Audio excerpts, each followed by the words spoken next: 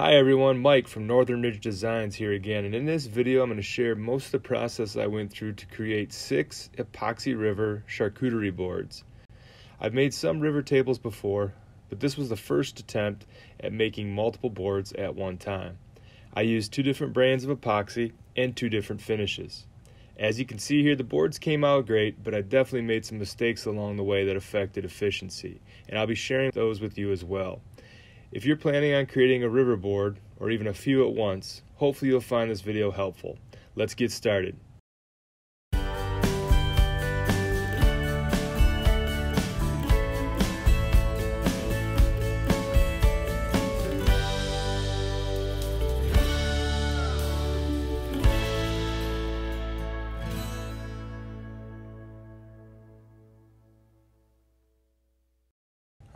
We are working with some walnut here. Uh, we planed both sides, which turned out to be our first mistake. In the future, for efficiency reasons, I'm just going to plane one side, the side that will be going face down in the mold, because the whole charcuterie board ends up getting planed anyways once it's been poured. So here we are sending it through, wasted a little bit of time here. Also make sure you welcome back Cousin Eddie, making a reappearance cutting the boards into workable chunks. Now, we thought we were going to do smaller forms, but then we decided, hey, we'll just put all the boards together. So, really, that was our second problem with efficiency. We should have just left the boards intact and ripped them down the center. Here we've made the form, used block-it tape. Um, I'm mixing up some quick coat of epoxy to seal the edges. As you saw there, it was kind of like a brown color. It'd been affected by the UV. It was kind of some older epoxy I had. Uh, does not affect the epoxy whatsoever. You just wouldn't want to use it anywhere where you were going to be, um, you know, you wanted the epoxy shown. I'm just using it to seal the edges. You will not see the epoxy at all, but again, it's still very strong. I'm using the quick coat to seal the edges as well as glue the pieces down to the, the uh, block-it tape. Now it seems counterproductive that you want to glue them down, but they're going to be glued down well enough to hold once we do the uh, river pour but not so bad that I'm unable to release them from the form. So here we're mixing up a second batch for the other side. I'm going to be doing six, as you can see here, the six different chunks, six different epoxy uh, river tables. On the left-hand side, we'll be doing stone coat countertop epoxy, and on the right side, we'll be doing total boat epoxy. So I'm using stone coat quick coat though to uh, seal both sets of river boards gluing them down. I'm going to wait 24 hours, come back, and sand the edges. Here we go, sanding the edges using 220. That's all you need to do, just rough them up a little bit. I'm going to use the air gun to get that uh, dust that I created out of there. And then we'll be ready to pour our casting epoxy to make the rivers.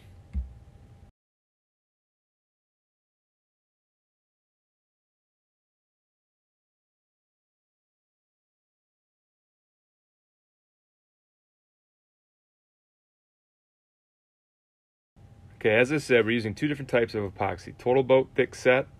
Uh, this was actually sent to me by Total Boat Epoxy, so thank you for sending that to me. Um, I'm going to try it out, see how it went. Uh, it's kind of an experimental thing for me. I've never used it before. I'm also using Stone Coat Casting Epoxy, which I have used in the past and works really well. So, starting out here with the Stone Coat, that is up first. We mixed in some Ocean Blue Metallic uh, flakes to get our blue color. And I'm pouring a quarter inch at a time and then torching. I'd pour another quarter inch or so and torch. The board's overall just under three quarters of an inch thick. Now you can see the gaps along the edges. That was kind of a problem of me cutting these walnut boards into shorter lengths. Uh, again, I thought we were going to use smaller forms. We ended up just doing the larger forms. So I'm having to fill those gaps ahead of time and use some epoxy back there because I know it's going to leak through and end up on the edges of the board and would bring my river down. So I'm trying to fill those ahead of time and make sure we have everything filled up and it's not I'm not going to have any surprises when I come back 24 hours later and my river has shrunk down too shallow. So again, torching to make sure we get the bubbles out as we go had a little issue with the table not being totally level. Um, it wasn't quite perfect as you can see the epoxy starting to leak to one side. That's what happens when you don't have your table perfectly level. Um, to a certain extent, it's going to be fine. Um, I'm trying to over pour a little bit in the river because as the epoxy cures, it is going to shrink a little bit, this casting epoxy. So if you're quite a ways under the edge and then you let it cure, you're going to be even shallower. So trying to get it right up to the edge. I'm just using a paint stick to kind of move it around. You can see some swirls starting to form, which is nice. It's going to be a great look. But in the end, after 24 hours or so, it's going to change. Here we're pouring our Total Boat Epoxy. We used Ocean Blue Metallic and Tropical Turquoise to make these two colors. And as we're pouring here, you can see that they're going to meet up in the middle. It's really neat. Uh, I've never done this before with two different colors. So we're just kind of pouring against each other and talking as far as, you know, who needs to pour harder to try to keep that line in the middle. We were thinking we'd have one blue board, one green board, and then one board that was kind of a mixture of the two. Now I did some miscalculating here. When I converted the cubic inches to ounces, I thought I had enough epoxy, but it turned out the green board on the left was a little longer than the blue board on the right. So when I split the epoxy in half, I ended up not having quite enough green. And as you're going to see towards the end here, uh, the blue sort of starts to spill over towards the green side on the left. Here I'm just kind of playing around, seeing what happens.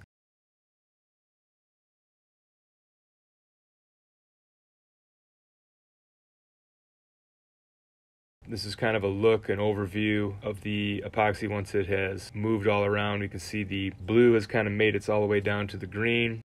Here I'm pulling the forms off. It really popped out pretty easily, both types, the Total Boat epoxy as well as the Stone Coat countertop epoxy. I'm just going to rough cut these, get them pretty close so that they're a little more manageable so I can send them through the planer. So this uh, 13 inch planer makes pretty quick work of the wooden epoxy. Then I'm going to buzz off the edges using the table saw, clean those up, start to make something that's pretty square. Just shaving off that excess epoxy that I had poured on the um, in the forms. Once I've done that, then I can get a nice square cut on the miter saw.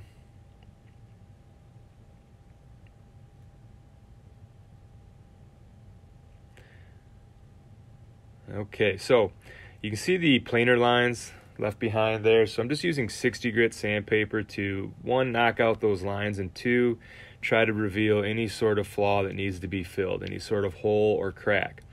Um, first, I'm going to try to attack those with some epoxy. I'm going to mix up some quick coat along with some black dye and use that to fill some of the voids. So here we're using that same stone coat countertop quick coat epoxy that I use to seal the edges before we put them into the mold. And I'm just adding literally two drops of black dye. This stuff goes a long ways. I'll put the uh, a link to it in the description. And I'm going to use that to fill all these little voids, these little wormholes and bug holes and that sort of thing in the, that naturally occurred in the wood. Now the problem here is you can't get this stuff very thin so it will fill the void, but you're left with a lot of excess that needs to be sanded off. Or in my case, I'm going to use a grinding wheel to get the big chunks off. Luckily, I'm a bad welder, so I'm pretty good with the grinder and I'm pretty surgical there. So I'm able to get real close to the wood without dishing out the wood at all. To remove those grinder lines, just hit it again with some 60 grit sandpaper. Now here I found this new product to me, which just works awesome. Starbond medium thick black filler thin enough that it goes in the little nooks and crannies, and then you hit it with the accelerator, and literally within like 10 seconds, it's rock hard and you can sand it. So that was a game changer, and I used that instead of the epoxy for the rest of the holes. Here I'm going to sand um, my way up to 220, and I'm not going to go past 220, which will probably offend some people, but really for what I'm doing here, um, I'm going to do two types of finishes. One is an oil and wax, as you can see me putting in here. I'm using a white Scotch-Brite to buff that in. And I'm also going to use Rubio Monocoat, which they don't even suggest going up to 220 for Rubio. I wanted to do both the Total Boat epoxy as well as the Stone Coat epoxy charcuterie boards um, with different finishes and see how it, it turned out. So here we're getting a look at the oil and wax buffed in with a white Scotch-Brite. Um, very happy with how it went. Plus, going up to just 220, these boards are going to be used. So if I were to to try to get up to like a, a 2000 or 3000 or 4000 grit sanding. It's just, I don't think it's going to hold up that long, but it's experimentation. So I'm trying to learn as we go. So here we have the Total Boat thick set epoxy uh, river boards and mixing up some Rubio monocoat. This stuff is a three to one. I'm putting in the uh, the base and then the hardener, which is the clear stuff. Okay, I'm gonna mix this stuff up really well. You don't need a lot of this. It goes a long ways. A little bit goes a long ways. So as you can see there, I just had like maybe a couple ounces to do both sides of all three boards.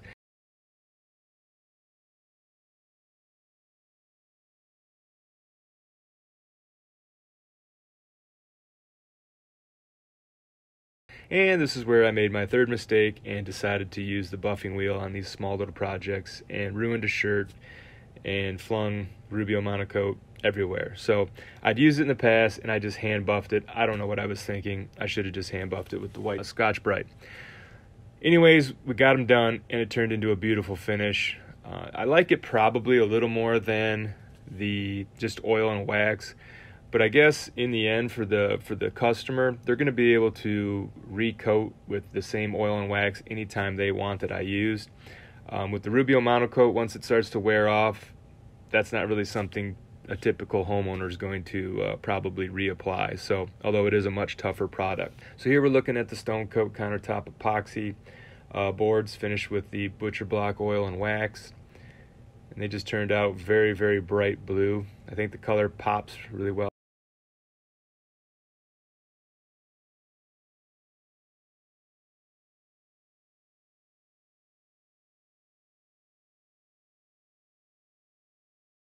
And then one final look at both boards side by side.